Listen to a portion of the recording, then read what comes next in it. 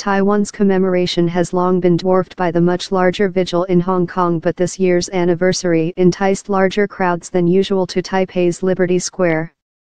But he heard the gunfire erupt and has felt racked with guilt ever since he arrived on the square a day later. I felt ashamed. As an officer of the People's Liberation Army and the role it played that day it was a disgrace, he added.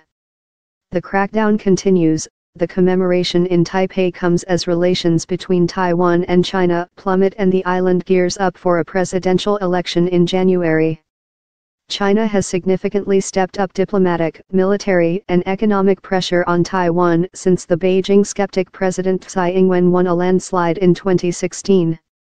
Her government refuses to acknowledge that the self-ruled island is part of one China the two sides have been ruled separately since the end of a civil war on the mainland in 1949 but China still sees Taiwan as part of its territory and has vowed to seize it, by force if necessary.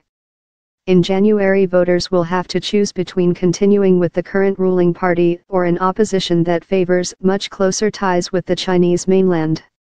In the run up to this year's anniversary, Tsai's government has been much more vocally critical of China's role in the crackdown than previously.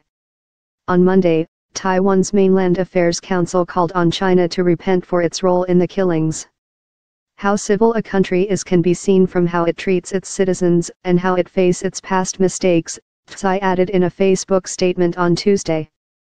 The heightened rhetoric came days after China's defense minister reiterated Beijing's commitment to taking Taiwan by force if necessary and said Beijing was right to violently quell the Tiananmen protests. For me June 4 is not history, it's a reality, the crackdown continues, Wu Renhua, a scholar and witness of the crackdown told the crowd. The witness testimony in Taipei contrasts with that in Hong Kong where Tiananmen survivors have found themselves barred from entering by the local pro-Beijing authorities.